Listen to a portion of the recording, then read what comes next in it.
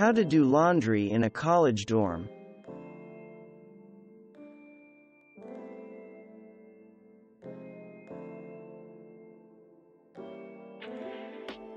The absolute worst time to do laundry is when you are frantic, you have no clean underwear, and there's a line to use every washer and dryer. Every campus is different, but usually the best times to do laundry are on weekday afternoons or during big events, such as football games. Weekends and nights are typically when laundry rooms are the busiest. Some campuses offer apps that alert you when washers are available, so take advantage of that if you have one. Believe it or not, you probably have more workspace to sort laundry in your tiny dorm room than you will in the laundry room. In your dorm room, you have your bed and furniture on which you can sort laundry. But in the laundry room, any communal space might already be spoken for.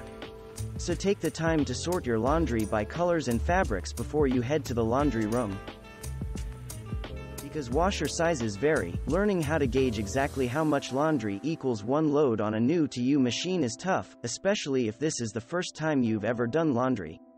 To give you a guideline, fill the washer with your dirty clothes without stuffing them in. Then, return the clothes to your empty laundry basket or hamper. This will allow you to see just how full your basket or hamper can be to fill a washer load. Laundry can be full of surprises, especially in a communal laundry room. Before you set something on a surface in the laundry room, make sure it is clean. At best, you'll encounter sticky detergent residue. At worst, you'll find chlorine bleach that will permanently ruin your clothes. As you start your first load of laundry, check the time. Stay with your laundry to time how long it takes for the washer to complete the load. Do the same thing when you load laundry in the dryer. Items can easily get mixed up in a communal laundry room. For that reason, it's ideal to stay with your load to monitor things. But if you have to leave while your clothes are in the washer or dryer, at least make sure anything you plan to leave behind, such as your laundry hamper, detergent, or dryer sheets, is labeled with your name.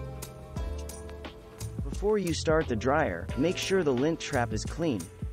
You'll prevent fires, and your clothes will dry faster. Then, set the heat to medium.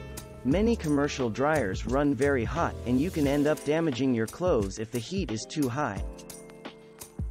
If you fold as you go when clothes come out of the dryer, you'll get fewer wrinkles in your clothes. Final folding can be done back in your dorm room. Thanks for watching. Subscribe for more interesting videos.